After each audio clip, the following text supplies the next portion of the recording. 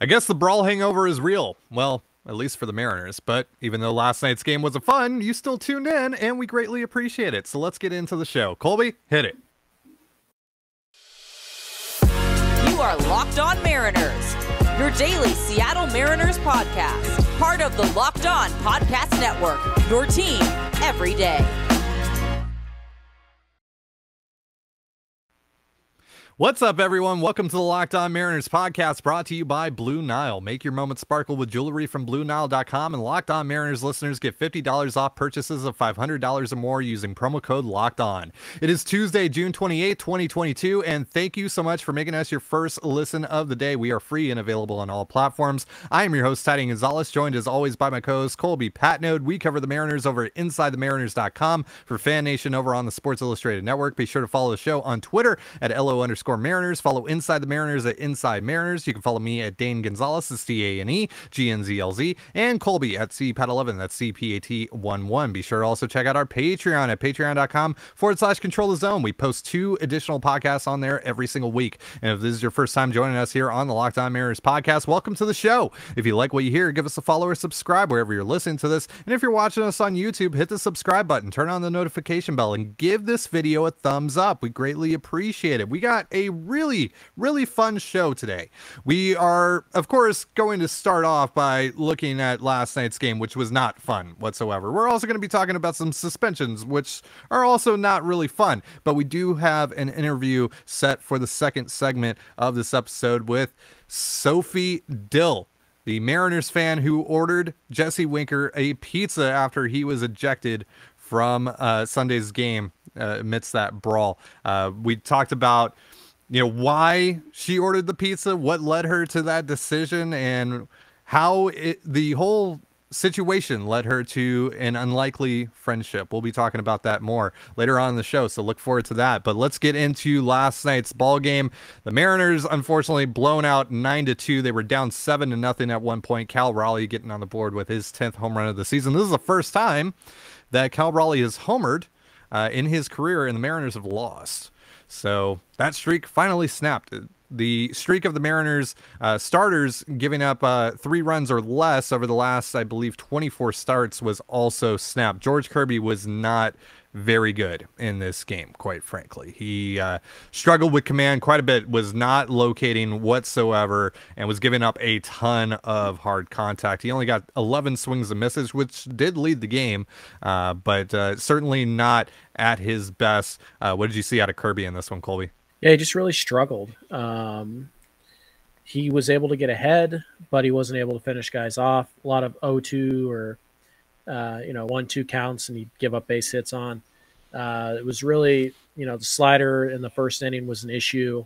Couldn't really land it, and then as the game went on, he was able to put it in the strike zone a little more, but it wasn't very good. And you know he, he fell behind a few more hitters than you would normally see. Uh, the Orioles are a very aggressive team.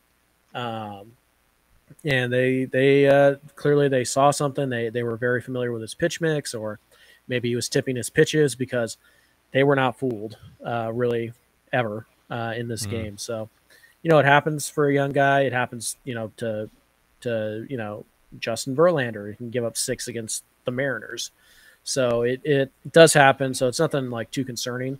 Uh, but it was just it was a bad outing for him. There, there's no denying that. He just didn't really have good feel, didn't have his normal control uh, or command, um, and it uh, it just showed. I mean, he gave up back to back home runs in back to back innings, um, so uh, he just he just didn't have it, and uh, it happens. Uh, but uh, you know, it's a bummer because he was on a nice little roll, and and you know the Mar- he just he didn't give the Mariners a chance to win. now, part of that was because the Mariners didn't help him out when they could have. I mean it was an absolute disaster for the team in the first two innings defensively. Um, but uh, yeah, Kirby just, you know, either the Orioles know he's tipping pitches or they saw something um, in in his scouting report, some kind of pitch mix issue or arsenal, uh, and they they were all over it. So uh, good on the Orioles; they had a great plan, uh, accompanied by Kirby having let's say 40 grade command on all of his pitches and, and george kirby while he has good stuff is not good enough to live on 40 command he needs to be you know 50 55 where he usually is. Mm-hmm. Um, so he'll he'll bounce back. His next start will be against Oakland. Um, we'll see if he can uh, make the necessary changes, and, and uh, it's it's nothing to worry about long term. So you mentioned it. You know he didn't really get much help from the Mariners as well. It was a dreadful uh, offensive performance. They looked lackadaisical, and that's being generous quite frankly. And then on top of that, the uh, defense, as you mentioned, was uh, poor, uh, particularly in the first two innings of this game particularly on a fly ball to Jesse Winker and Julio Rodriguez that was not caught and led to a run for the Orioles. It was uh, embarrassing. You know, I, I don't really know how else to, to put it. It was just uh, it was it was flat out bad, uh, flat out unacceptable. Um, just that kind of effort. It was it was poor and uh, coming off of a game like Sunday uh, with you know emotions running high.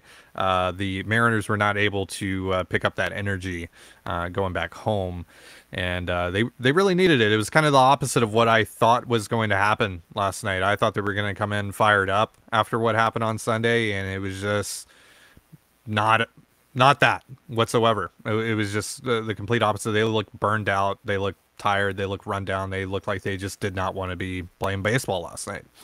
Um, so hopefully they're able to bring that energy uh, a little bit more uh, tonight, and um, we'll see. You know how everything works out with the suspensions. Who's going to appeal? Who's not going to appeal? I assume everyone's going to appeal, so they should be at full strength again tonight. Uh, but we'll see uh, how that all goes. But um, hopefully, hopefully, hopefully the Mariners can get back on track here and not undo the uh, really good work that they uh, that they did on this road trip, uh, on this past road trip where they won you know five in a row and started to make up a little bit of ground here. But you know you don't want it to go the same way how the last road trip to homestand stretch went, where you know they they made up quite a bit of uh, ground on on the road trip and then just absolutely fell flat mm-hmm. at home, which also is kind of the complete opposite of what you would expect because you know this team started out really really well at home it, it, looked like they were really feeding off of the the home crowd and it was giving them just an extra boost that they uh, that they needed and now it's just the complete opposite they look dead at home right now the last two home stands mm-hmm. so far have been uh, rough rough to watch rough stuff uh, for the mariners yeah. so yeah i mean you you have baltimore and oakland coming in and after that mm. it's it's you know San Diego and and Toronto, you, you yeah. need uh, you need to play well the rest of this week. Yeah, you absolutely need to because again, you know, we're still in the midst of this stretch. I know a lot has been going on over the last couple days that has kind of distracted from what the ultimate goal is here, but the Mariners need to string together a lot of wins here in the next 2-3 weeks before the All-Star break happens or they're going to be dead in the water.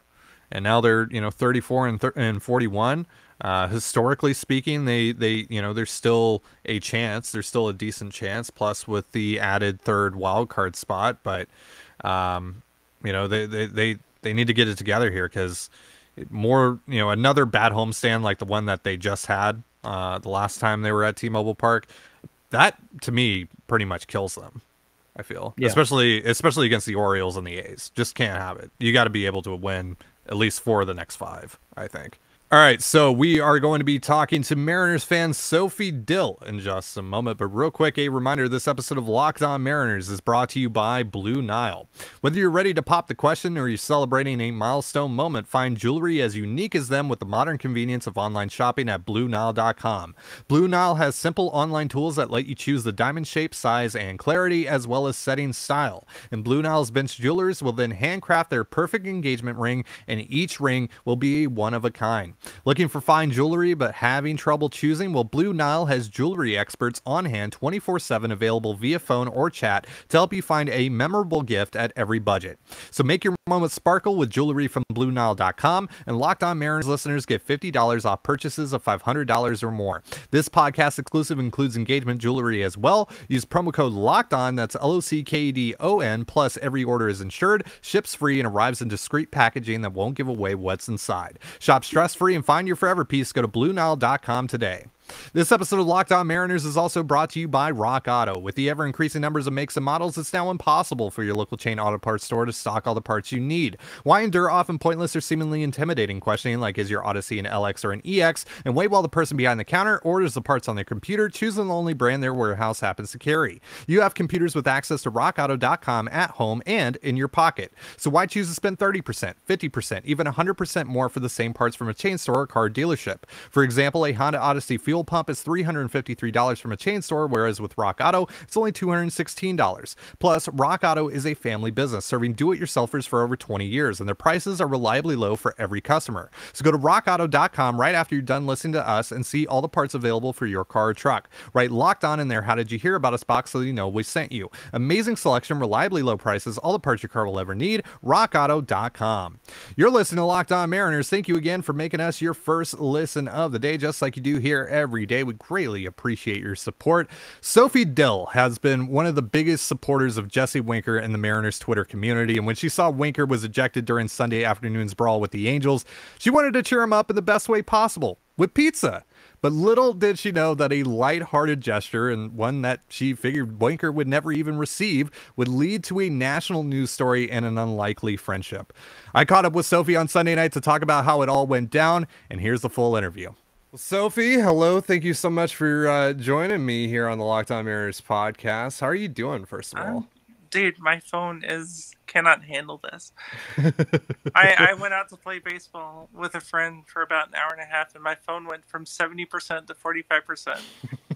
It has been nuts today. So you and I have been following each other for a little bit, and I I saw when you first put the tweet out that you, know, you were wondering if it would actually be possible to get a pizza delivered successfully to the visiting clubhouse at Angel Stadium, and Yep. uh, you know, I, I I I liked it. I was like, all right, I'm intrigued. Um, and quite frankly, this was way more interesting than anything that was going on in the game. I was paying close attention to this, and I was following along with the thread. And uh, I'm just gonna ask you what first popped into my mind when I first saw your tweet is how did you come to this?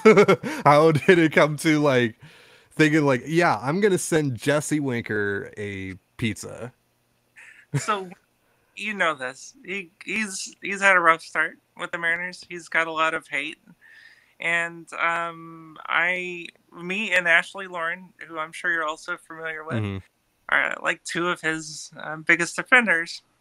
And so he gets ejected after the brawl. We all know what happened. I didn't know that that Scott Servais and JP and I can't remember who else also got ejected. I thought it was just Wink. So I'm just imagining him like um, all alone in the clubhouse, you know, just like watching the, the game on TV. I don't know what whatever the heck it is that they do, and um, so I'm like, you know what? I'm gonna get the dude a pizza, and it's probably not gonna work.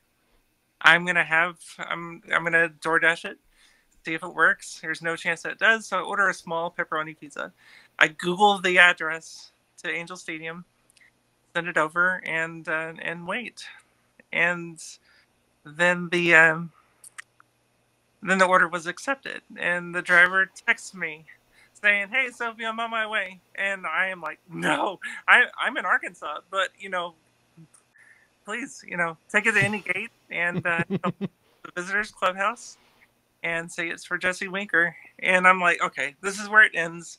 Dude is gonna be saying, okay, I don't know what this is all about, but uh, he's and then he says, okay, great, I'll be there in a little bit. Simranjeet. Uh, that's the uh, the the uh, delivery driver who uh, you coordinated all of this with, and and he came through. He was able to get the pizza to Jesse Winker successfully. In- incredible. Do you know? Did he meet Jesse? What happened? So he and I, a couple hours after it happened, um, after the tip stuff went viral, he um, he called me. Um, after, well, let me go back a little bit further. He uh, texted me and said, uh, "Delivered it at gate six. Um, I didn't know. I just told him, you know, to hand it to some ticket person." hmm And so I said, wait, wait, wait, wait, wait. This is good and huge on Twitter. please send me your Venmo because I'm I'm not Mhm. sure how longer I'm going to be able to text you. And so he sends me his phone number, and so I text Mm. him like, "Hey, is this Simranjit?" And he said, "Is this Sofie?" I said, "Yeah, yeah, yeah." Um, so he said that he took it to one of the the gates, like where they take tickets. Um, the the people at the gates, there was somebody there. He said who seemed like he was expecting it, Mm. and so he told them to go to the security, like this guard shack, and I assume it's where like the players enter and, and park, you know, the restricted area. And the guards were expecting it, and they took it from him, and I imagine they took it to the clubhouse from there. That's amazing. And apparently, Jesse really liked the pizza. What, where was it from again? Mountain Mountain Mike's. Yeah, which I had never heard of. I, I was just looking for, you know, someplace that sounded local. I didn't want to get Papa John's because I figured that'd be more of an insult than anything. Sure. Yeah. I mean, Fair. I was like, okay, yeah, Mountain Mike's. That sounds good. Mm. And I got a small pepperoni, and it, thinking that there was zero chance that this was ever gonna work. And if, I knew that this was gonna blow up as much as it did, I would have got like an extra large. I especially feel bad that Skip and like JP were in there, and they're like, "We don't get you pizza. We get a, a quarter of a small pizza. Wow, thanks." Did, did you happen to see the uh, the tweet from the Best Manager 1967 account? The Yeah. uh, the fake Scott Servais account, which you know, I, I got to be real. I, I have my doubts. I think that might actually be Scott Servais behind that. Yeah, yeah. on the burner.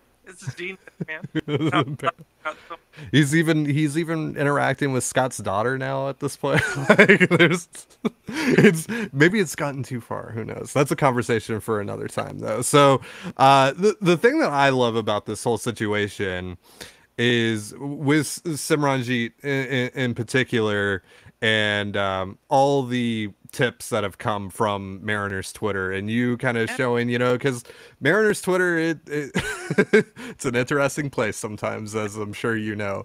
Uh, even today, you know, the the Mariners were struggling after having three of their best players taken away from them uh, because of this, and uh, you know, so you got one house of the one side of the house is on fire, but the other side of the house is is doing something incredibly great and sweet and genuine and wholesome, and that Simranjit, I believe, has you know, and for context, we're recording this on Sunday night, uh, but at the time of this recording, I believe that he's received something like 120, 150 tips or something like that on, on his Cash App. That's incredible. And those are only the public ones.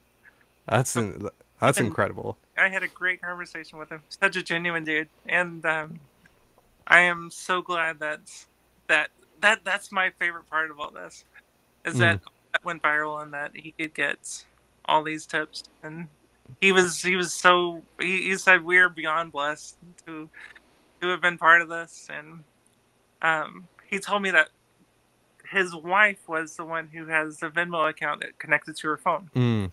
And so he's out driving DoorDash, getting texts from his wife because her phone is blowing up all of a sudden.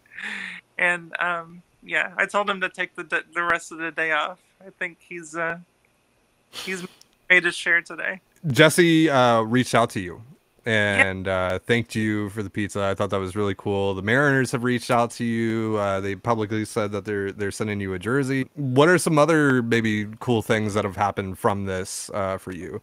Uh, that you know over the last eight or so hours since uh, you ordered this fateful pizza.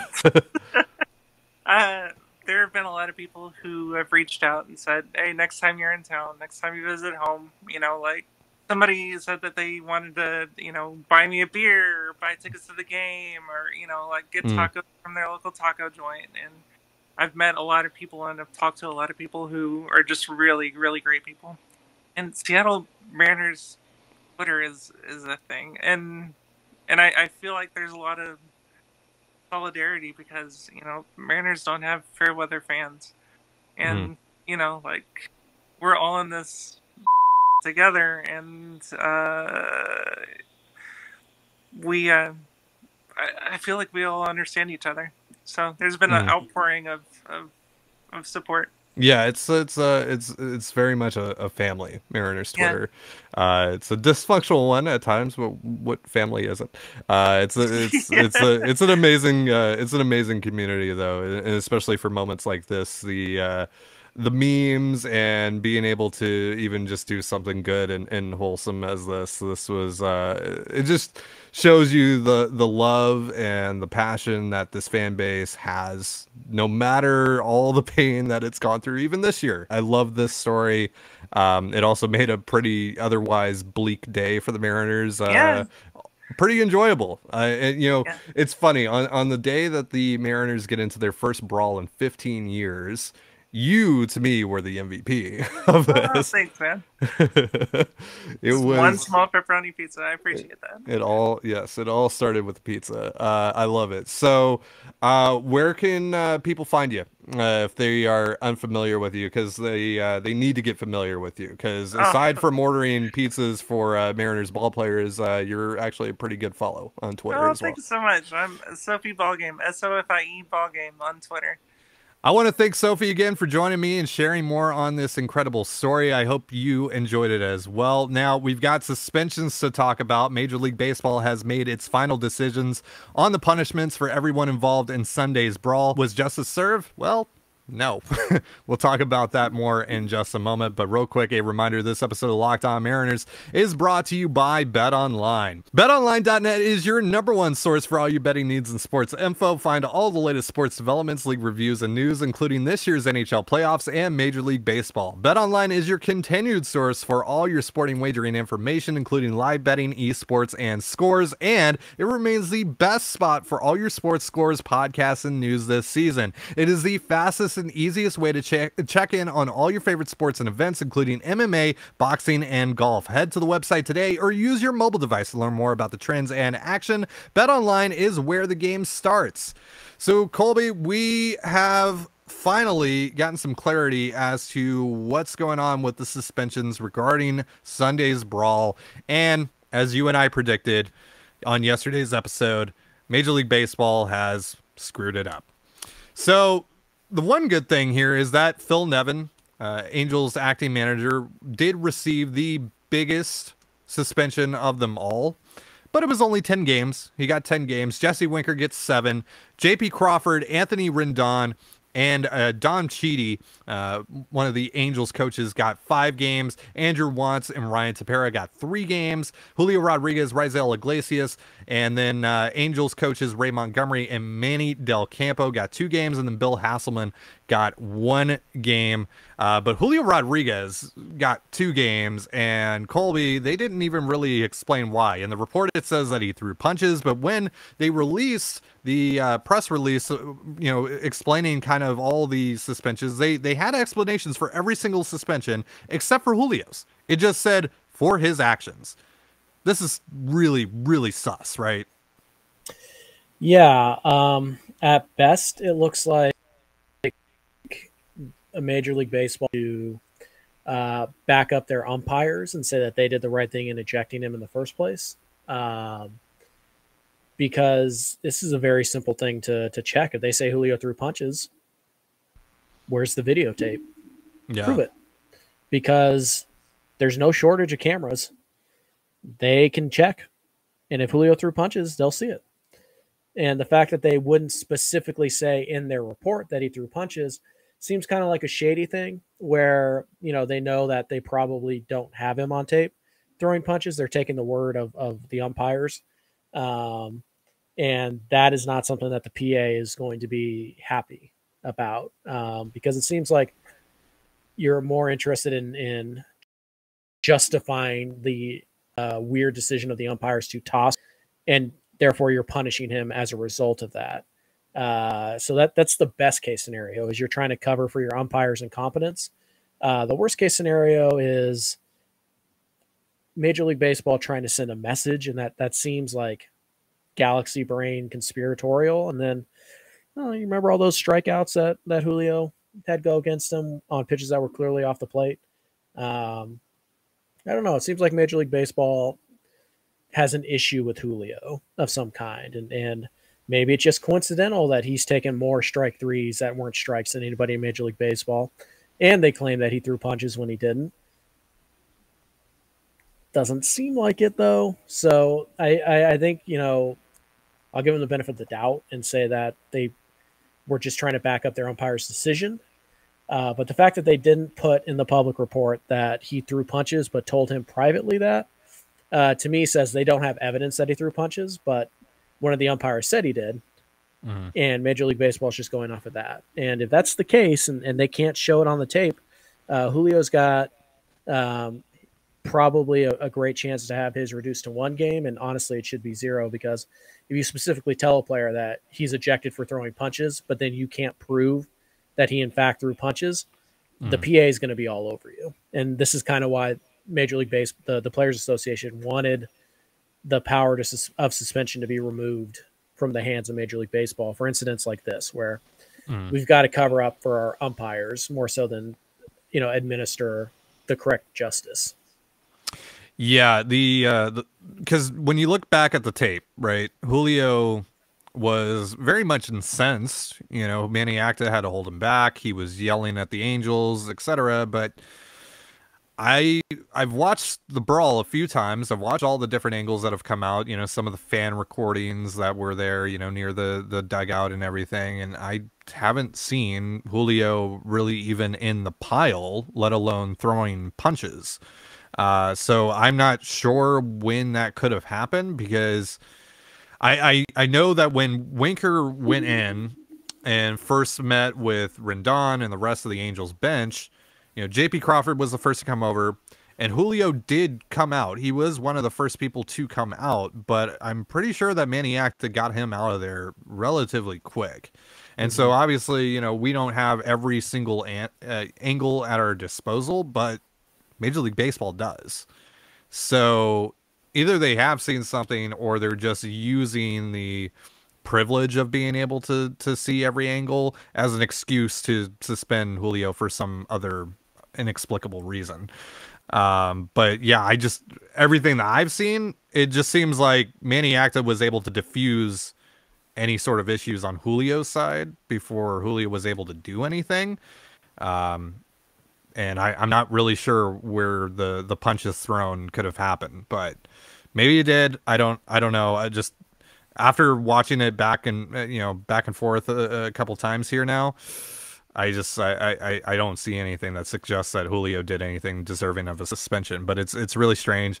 Uh, we'll see. You know, I said earlier on in the show, we'll see. Uh, you know how. Um, the Mariners players that, that were suspended want to handle this, how Julio, how Jesse Winker, and how JP Crawford want to go about this. Uh, it seems like likely, you know, more likely than not, uh, that they are going to appeal these suspensions, which would keep them active until uh, a suspension is finalized.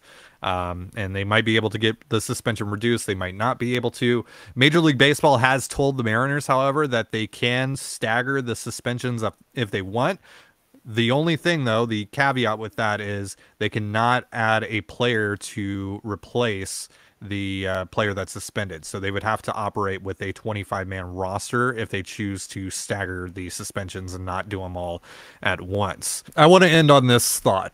Um, you know, you look at these suspensions, you go down the list, and you heard all the names that I listed there. A lot of them are Angels coaches, which mm-hmm when you are handing out suspensions to several coaches from that team, you are admitting that the Angels as an organization conspired to make this happen, conspired to start this brawl, to incite this brawl, to throw at Julio Rodriguez's head, to throw at Jesse Winker. So at that point, why wasn't the organization itself punished? And I know the response or the quick response to that or the quick rebuttal to that is well, didn't they get punished because they lost several players to, to suspension and they lost several coaches to suspension? But that doesn't that only impacts the clubhouse. That only impacts the major league team. No, this is an organizational thing. This is something that clearly even the general manager, the assistant general manager, everyone in that building was aware of and allowed to happen. Everyone shares some form of responsibility. Anyone that is there and has decision making powers is responsible, at least partly, mm-hmm. for what happened on Sunday. And therefore, to me, the Angels should have been stripped away of draft compensation and or slot money for the draft or the inter or for the international signing period. Mm-hmm. And fined as well as an organization. Yeah. Uh, Major League Baseball's actions did nothing to dissuade another team from doing this again. And yeah. that's the unfortunate thing. That why would a team not do this because they're going to lose their manager for 10 days? Who cares? That's not that's not a loss. So basically the Angels get, you know, patted on the back for kind of introducing this dangerous uh, loophole into the game uh, because Major League Baseball is spineless and doesn't want to, you know, do its job and protect its players uh, from action that can only be described uh, as um, what's a nice word for this? Um, cowardly. Yeah, cowardly. Uh, you know, uh, it just yeah, there's no better word for it. It's cowardly. Uh, it's against the spirit of the game, so to speak. Um, and for all the unwritten rules guy, it's weird that how many of them are so silent all of a sudden because this is clearly mm. an unwritten rule. Uh, you don't yeah. you don't send a lackey out there to be your hitman uh, in the first inning. Yeah. So Phil Nevin wants to talk about baseball is this grand tradition, and this is how baseball polices itself. This has never been how baseball has policed itself, and the and Major League, and it comes with a stamp of approval from Major League Baseball. Yeah, it's really disheartening. It's exactly what we talked about yesterday. Um, this now sets a precedent for the rest of the league that you can get away with this. And yeah, you're gonna su- you're gonna suffer some you know consequences, but nothing that is going to deter you. Yeah, yeah, very very minor stuff at, at the end of the day. Something that's not going to ultimately deter you from doing this mm-hmm. in the future. Yeah, basically, Major League Baseball had a bigger issue with Jesse Winker flipping people off than the Angels' orchestrated plan to throw at the head of one of its young stars and then hit one of its better players. Yeah. Yeah. Priorities. Yeah. And look, we can absolutely, you know, um, criticize Winker for how he acted. You know, he shouldn't have mm-hmm. acted like that. He should absolutely be, you know, punished for that. And, uh, and you know, we can say that. You know, we're. I, I like to think that we're pretty objective here, even as fans of the team. Uh, that you know, Jesse Winker deserved to be suspended. So did J.P. Crawford. Julio, I don't understand at all because I've just I've watched the tape multiple times and I haven't seen a single thing that that suggests to me that Julio should have been suspended. If any third, you know, I said this again on yesterday's episode that if any Mariner third Mariner should have been suspended, it should have been probably Justin Upton. Um, but even he really didn't do a, a ton there. But yeah, it's um, yeah, I don't get the Julio thing, but you know, Winker and Crawford, they absolutely deserve it. That doesn't mean though that the Angels should ultimately be let off the hook here. They they're the ones that started this. They're the ones that started it on Saturday night, thinking that something was there that wasn't there, and just going off of that and using that as some sort of way to pick a fight for no good reason, honestly. And so, you know, things happen the way that they did. It's over now. It's over and done with. Major League Baseball is disappointing as ever, and that's the story. We're basically where we expected to be, and uh, now the Mariners just got to figure out the best way to uh, maneuver through it. Well, that's going to do it for our show. Thank you so much for joining us here on the Locked On Mariners podcast. For Colby Patnode, I'm Ty Gonzalez. Be sure to give us a follow on Twitter at LO underscore Mariners. You can follow Inside the Mariners at Inside Mariners. You can follow me at Dane Gonzalez. It's D A N E G N Z L Z, and Colby at CPAT11. That's C P A T 1 1. You can also find all that stuff in the description of this episode. And thank you again for making us your first listen of the day, just like you do here every day. Now, make your second listen of the day Locked On MLB Prospects. Host Lindsey Crosby is a prospect encyclopedia, and he's going deep on the MLB stars of tomorrow. It's free and available wherever you get your podcasts, just like us. And with that, have yourself a beautiful baseball day, and we'll see you tomorrow. Peace.